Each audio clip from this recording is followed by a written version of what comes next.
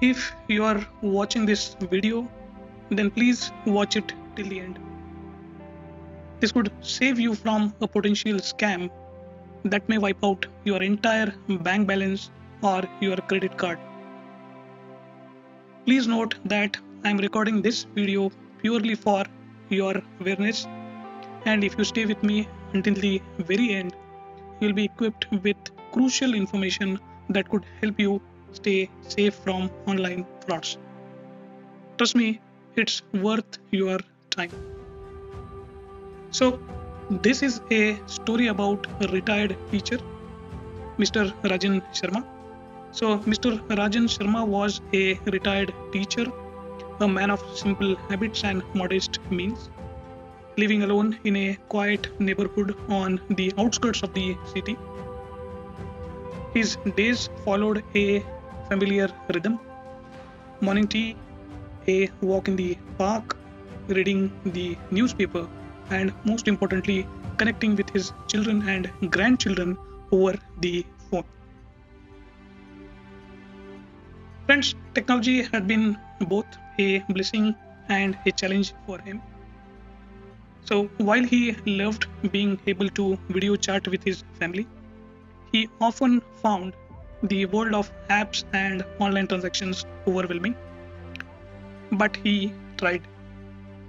So one fine Tuesday afternoon, he sat in his favorite armchair, scrolling through his phone, and he received a notification a message from what appeared to be his bank. The message seemed urgent, claiming there was a security issue with his bank account and that he needed to act immediately to avoid a block on his card.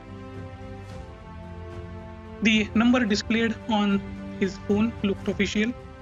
The language of the message was clear. Dear Mr. Sharma, due to a recent suspicious activity on your account, your account is under review. Please call us immediately to verify your identity and avoid a temporary suspension of your services. So his heart skipped a bit. He had always been cautious about such things. But this time, the message seemed so real. He had never been asked to act this quickly. The fear of losing access of, to his uh, life savings was enough to override his hesitation. And with trembling hands, he dialed the number. A woman with a calm voice picked up the phone. She identified herself as Priya from the bank's fraud department and assured him that everything would be taken care of swiftly. She asked him to verify his details, his full name, his date of birth, and his bank card details. Mr. Sharma, this is a routine procedure, she said.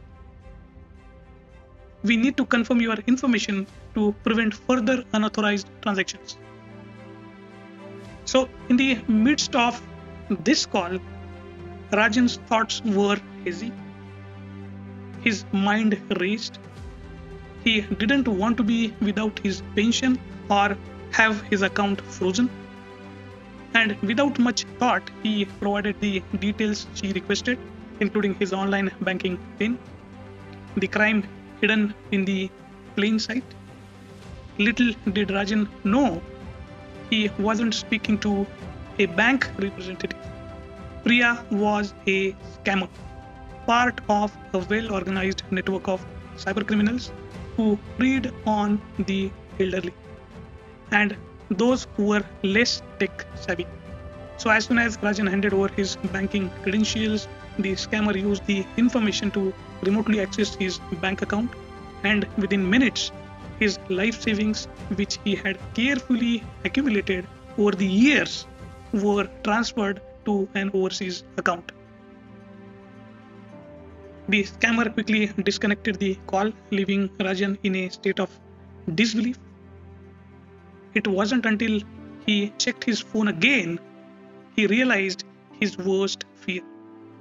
His bank balance was almost empty. A cold sweat ran down his back.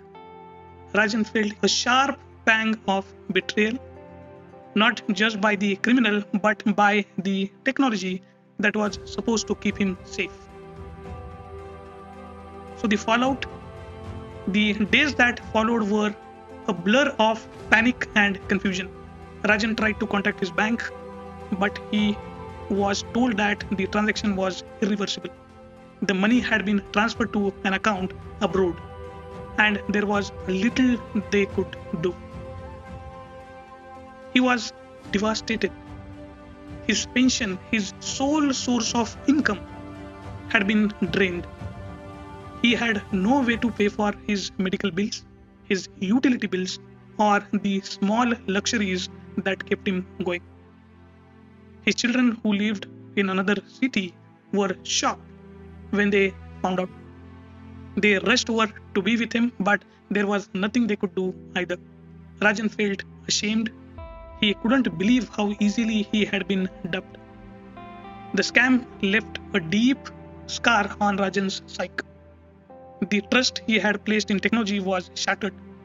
He became anxious every time he saw a notification pop up on his phone.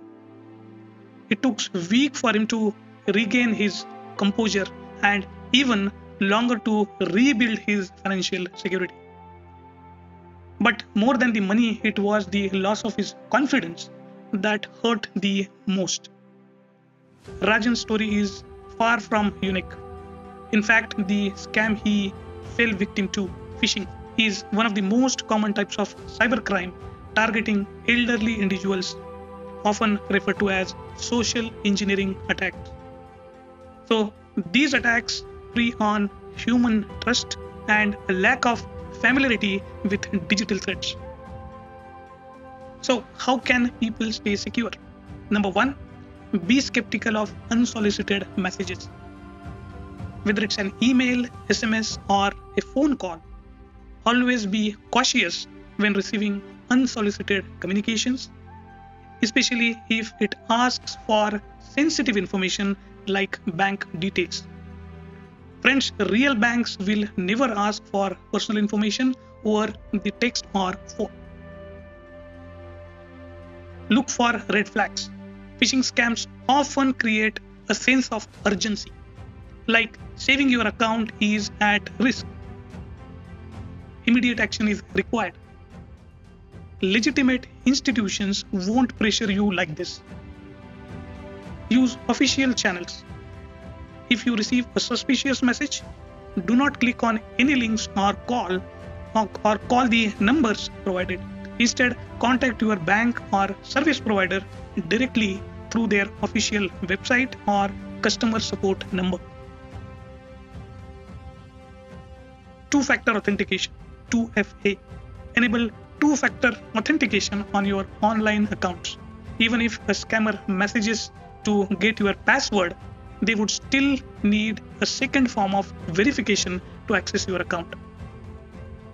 Next is educate yourself and your loved ones.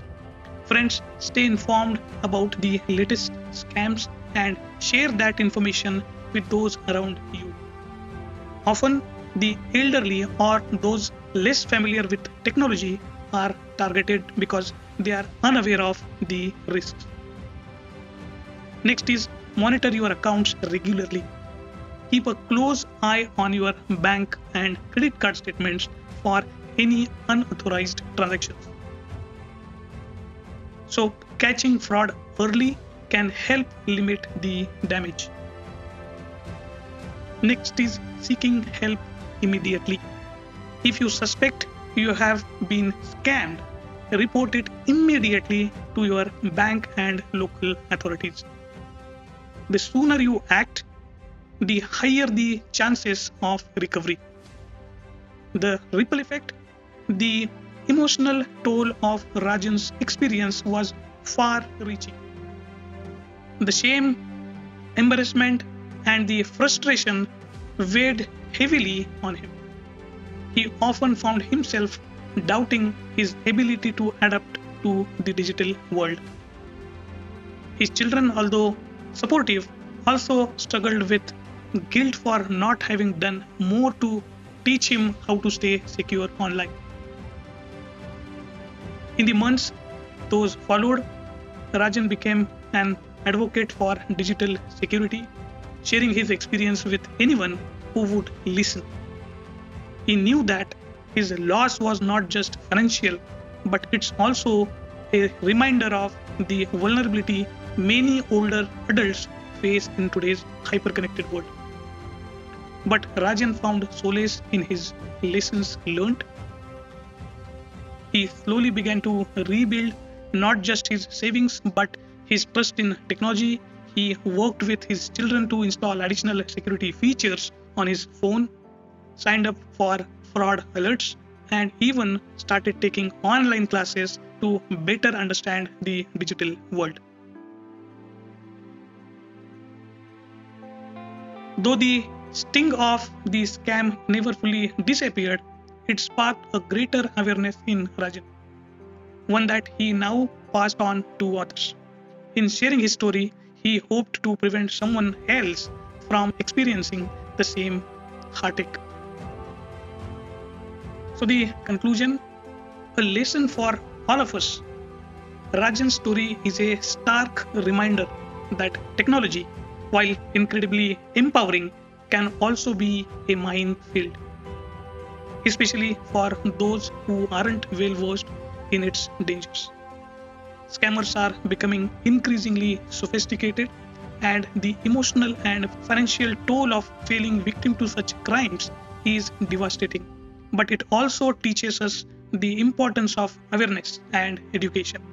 So, by taking simple steps to protect ourselves and our loved ones, we can help prevent the invisible theft that often feels more personal than any robbery.